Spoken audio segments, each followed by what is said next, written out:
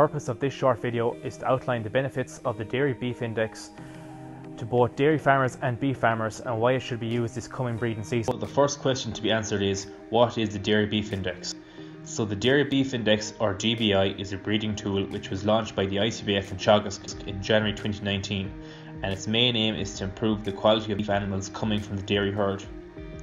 The aim of the DBI is to create a more saleable calf while having minimal impact on the dairy cow's calving performance while also producing a more profitable beef animal.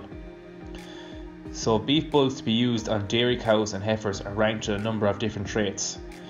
49% of the DBI is emphasised in calving traits such as calving difficulty and gestation length, which are more important to the dairy farmer, while the remaining 51% is emphasised on beef traits such as carcass weight, which is more important to the beef farmer.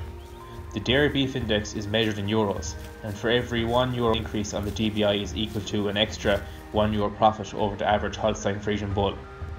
To summarise then, the dairy beef index can be a win-win solution for both dairy and beef farmers, and should be highly considered this breeding season.